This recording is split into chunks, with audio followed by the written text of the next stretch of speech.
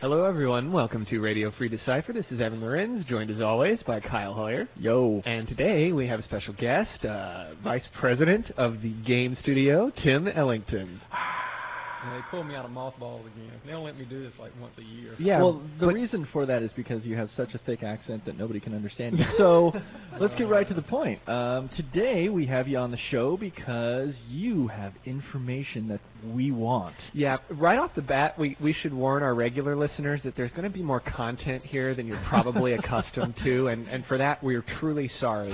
For those who, who are expecting to hear us talk about 24 and pineapples, that may have to wait until next week. I'm not going to do it. Then. Okay. Uh, as long as there's no whale song. Anyways, okay. Uh, um, yes, uh, as we were saying, So you are here today to give us a little bit of information about the new game that we're coming out with that is based on the old Star Wars CCG game mechanic. Yes. So, um, well, first off, let's uh, let's get a little bit of um, uh, maybe can you tell us uh, why we're doing this now and and what the impetus was? yeah, Tim, why are we doing this now?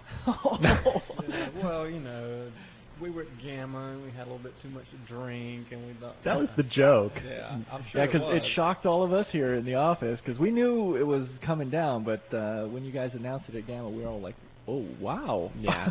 Yeah. Well, you know, timing is really one of the main things.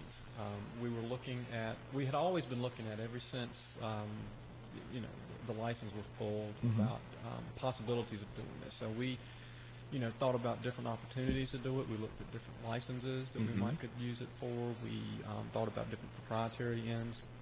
Nothing ever really had clicked. You know, we didn't have a real fundamental plan. hmm And um, so, you know, over the course of you know several months, we batted around a few ideas, and then you know when we were at GAMA, uh, Warren and I were talking, and some of the things just kind of fell into place. And uh, we said, well, yeah, this seems like it's the right time to do this now, and we think we've got the plan that will allow us to do it in Mhm. a way that uh, will be both uh, satisfactory for the players and also something we can do. You know, Mhm. there, it's a little bit of a pioneering thing for Decipher too. So we had to work out some things within Decipher to be able to um, do something at this scope and scale. And um, and we also felt like that you know the longer we wait, the less likely you know more and more people would either get out of gaming or hmm wouldn't have the same nostalgic value for the gameplay. Sure. So it was just it was a good time for us to do it, and um, we finally put some of the pieces in place for us to pull it off. So let's let's uh, let's hit right away that uh, big point about why this is uh, big and different in scope. This would be our first uh, unlicensed trading card game. Yes, it would. Okay. So, being unlicensed, that means that. Um, can you tell us? Uh, are we going to have? Um, is, is it going to be based on something that we're already familiar with? Is it going to be based on something that is uh, going to have some backstory, which is something we haven't seen before? Is it going to be country western? Is it going to be Tic tac toe. Yeah, sci-fi. What what are we looking at here? It's going to be something that's a sci-fi property. Okay. Um, it is going to be completely original. Um, it's something that we have come up with internally here at Decipher. Um, not to say we haven't had some, you know, outside influence. Um, Okay. I think. Uh, What do you mean by outside influence? Well, um, we've talked to a couple of people outside to try to get some parameters set for what we wanted to try to accomplish. Um, we have worked some with Mike Stackpole Great. um, to help us sort of get a direction going. Um, we've been doing a lot of um, you know, backstory work, a lot of um, preparation for the property, both in-house and working with Mike. And um, you know, currently the plan is is that uh, when we launch the game, we'll also launch um, some accompanying fiction with the game, just to give people a sense of you know what the real backstory is, what the flavor is, and give um, a little bit of meaning to some of the characters they're going to see on the cards. Very cool. Okay. And, and is Mike going to be helping with that? Yes. Mm-hmm. Wow, that's great. Mike, big fan of Mike. Yeah, listeners out there, I, I think most people will probably recognize Max Stackpole's name, but he has written a lot of Uh, he writes a lot Sure, of sure. books. Uh, many of them are licensed. He bobs in and out of many other people's universes, including the Star Wars universe, Right. the MechWarrior universe. And Um, we've Decipher's worked with Mike Stackpole in the past because he actually has a Star Wars Yes, card. he is Corran Horn. yeah. Uh, but uh, he he's definitely got got the background for this sort of thing. We haven't worked out a deal with Mike yet to give him a card for the new game, but you know, you never know. We could work something out at some point. sure, sure, absolutely. Now, one of the things too that will be different for us with this is that uh, card art's going to be illustrated. It's not going to be photographed. Oh, this is the first card game we've done with illustrated art. right. And this So- is not going to be photorealistic per se material as some of the original created images we have done in our games like uh, Lord of the Rings and Star Wars in the past. No, it will be um, it will be something that you're more familiar with from an illustrated standpoint. Now, Okay. we hope to have a high quality of illustration. Sure, absolutely. Um, but it's not going to be photorealistic. Okay. Okay. Now you said that there, it's going to be a sci-fi slant. Does that mean it's going to be a terrestrial sci-fi thing or an extraterrestrial sci-fi thing? Yes. Ooh. Interesting answer. Okay. Okay.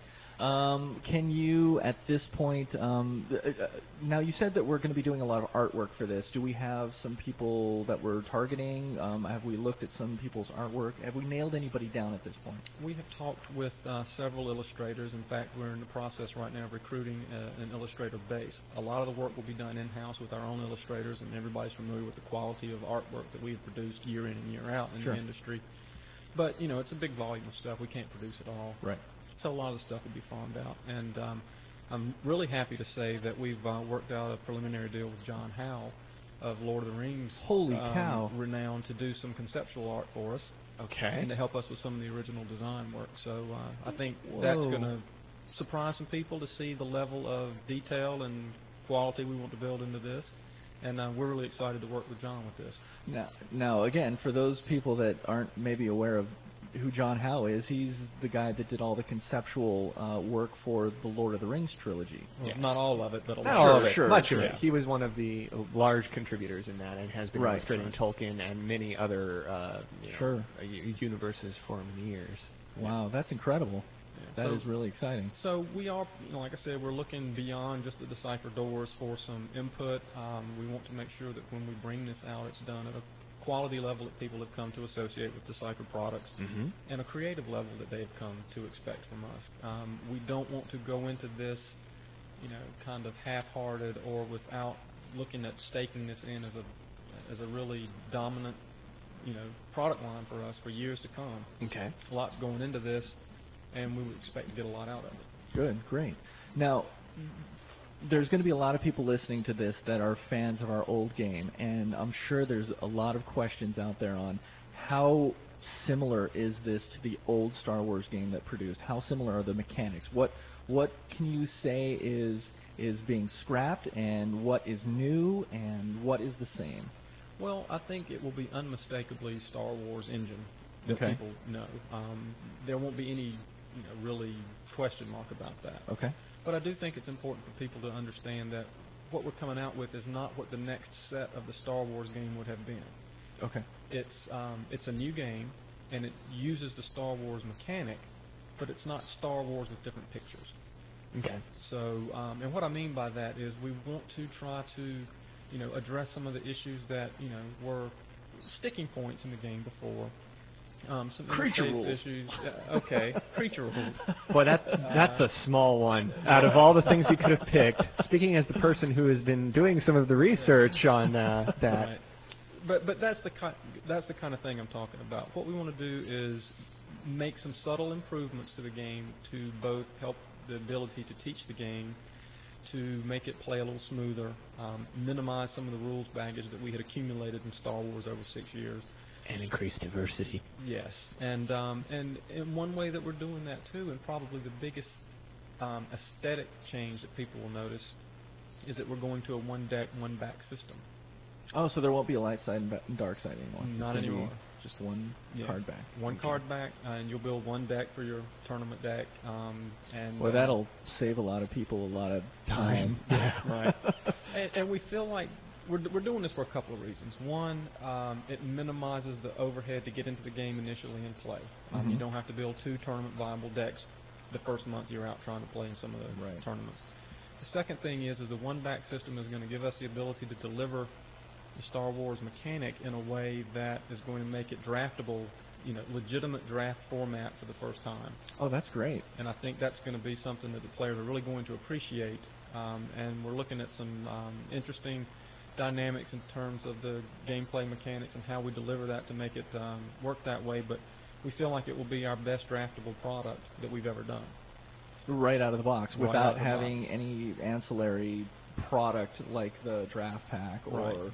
or anything like that. Wow, that's really good. That's really good.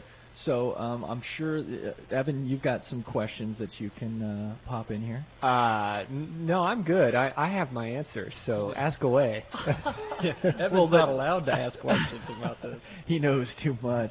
no, I know answers, and I don't know if I'm allowed to ask the question. So you go, and, and I'll keep putting Tim on the spot. w- Okay, one of the one of the last questions that I really have, which is probably um, uh, another one that a lot of people have been curious about, because everybody out there has been calling this the quote Star Wars CCG, me- you know, game engine Right. game Mhm. or, or or you know mechanic game. Uh huh. Do we have a real name for it at this point? We do.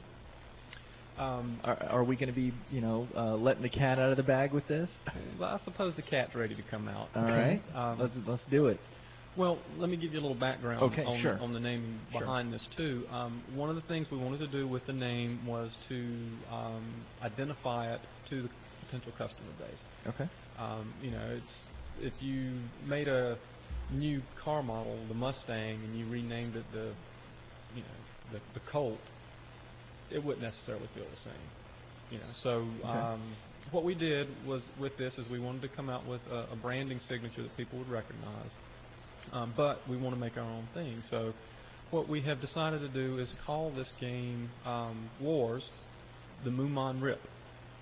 Wars. Okay. Yeah, and um, the Mumon Rip will become a significant piece of the puzzle in the backstory, and what people will find out is the catalyst behind a lot of the gameplay and a lot of the reasons for the action in the story and in the game. Okay. Um, Can, is there any of that backstory you can give us here, or maybe a, a reason? Once again, put me on the spot here. Yeah, you know, I could. What I wish I could do is let everybody sit in all the meetings I've had about how to name this thing for the last, uh, you know, several weeks, and uh, they would understand just what a tedious process it can be. Sure. What is this Mumon thing? The Mumon Rip um, basically represents some. Um, uh, uh, it, it has a, a grounding in some Zen philosophy background. Um, there was a, a, um, a, I don't know if it was Chinese, but I think it was a Chinese monk um, named Mumon, who um, real guy, not real not, guy. not fake thing for the story. This No, is not- a real no, this guy. is a real So. I can go on the internet and look up Mumon. Yes, you can. How do you spell that? Um, M U M O N. Mumon. All right. I'm sure everybody's you know got their second window open right now and starting to search for Mumon. Right. Well, the premise that he introduced in his philosophy was that of the gateless gate. And I'm not going to go into a lot of that because if you're interested, I'll let you look that up yourself. But that's kind of what the underpinning of um, the story is going to be. It's going to be about this rip in space, a gateless gate of sorts that um, creates some that, interesting that dynamics. action happens around. Yeah, Okay. it creates some interesting dynamics um, in a world that's approximately 400 years in our future. So that there's where the terrestrial and extra. Okay, got it, got it. Interesting. Mumon. I'm gonna do some research there. Should be good. All right. So, um, now you said that you wanted to have it have some roots that make it so that everybody can sort of identify with it, and that's where the the wars thing I think comes in. But Right. maybe it also that's you know you're thinking that maybe a lot of our players are Chinese monks. No. Is that is that how that works? No, no, not this time. um, like I said, the gameplay is going to be unmistakable. Um, Sure. When you sit down to play it, you know, the flow of the force, Right. mechanic will be there, uh, destiny draws, movement, um, a used pile, lost pile, um, you know, the character-centric battle, you know, hmm all of that stuff that you played in the Star Wars mechanic will be there. And what a brilliant name then to just call it Wars, since everybody called it that already, you know, for years and years. Right, but you know, at the same time, But it gives it an identifier Right. that sets it apart, and Yeah. you know. Yeah, this, this isn't Star Wars. You know, it's our Sure. thing, and um, but you know, we want to make sure that people have a comfort level in introducing them to the new universe, and um, and we wanted to do that in a way that was both a positive for the players and something that we could brand as a Decipher brand, Mhm. and um, going forward because we really feel very excited about the concept, and um, I'm really excited about what the potential art's going to be. Um, I've seen some of the um, some of the um, style guide that they've had downstairs, and it's incredible stuff. Yeah, I, I can't I can't wait to see what what they do. Yeah, it's it's it's interesting for us because even being at the ground level, when we get together and have a meeting and, and somebody's introducing some new pieces to the puzzle, it just kind of gets us all excited about it. The other great thing about this is that there's no licensing problems. We don't have to, s- you know, we don't have to say this person has. You can only show him from here and here, and you have to get this actor's approval to get that, and you don't, you know, and this. If you show this, you have to show that. We we don't. We're not bound by any of that. It basically, as far as our imagination can take us, Right. that's where we're going. Right. It allows us to introduce whatever level of character we want to introduce, Mhm. um, whatever quantity we want. We don't have to worry about a shortage of images of ships. Yeah, how many different stormtroopers can you make? How many different, you know? As many as we can have drawn. Exactly. So, um, you know, and, and that's exciting for us because it, it eliminates some of the constraints that a license brings. Now, licenses bring pluses to it, Absolutely. you know, no doubt. Absolutely. But eventually, you run out of images. Eventually, you run, you know, thin on the storyline. This gives us the ability to create new story, new cards, you know, for Without limit. years and years and years, and nobody can take it away from us. That's right. Good stuff. So come on, Evan. I know there's a button you need to push. No, I'm. I, I got nothing to say. I'm excited. Well, this is a change, isn't it? yeah, very much. Yeah, when Evan is speechless, that's that's newsworthy. Well, I, you know, for me, it's all the work end of it.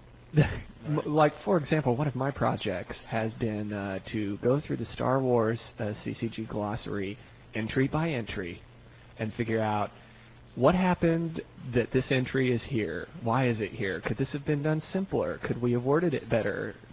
Do we need this? Does this add to the diversity of the game? And, and ask those kind of questions on every single entry for the hundred plus page glossary. So for everyone out there just dying to be a designer or developer for a game, see what people do to you. That's what that's what you have to look forward to. And who is the person that did this to you? Who's your boss? uh, that would that would be our guest today. Tim Oh, Ellington. well done, Tim. Way to make him speechless. it's a gift. you know. Excellent. All right. Well, um, thanks, Tim, so much for coming in and talking about all this information. I hope we don't all get fired because we um, uh, talk too much about it, but uh, we'll see. And uh, thanks everyone for listening. And I hope you really enjoyed this. I think it's uh, really exciting stuff, and uh, I'm really excited about the future. So have a great weekend. Thanks very much, guys.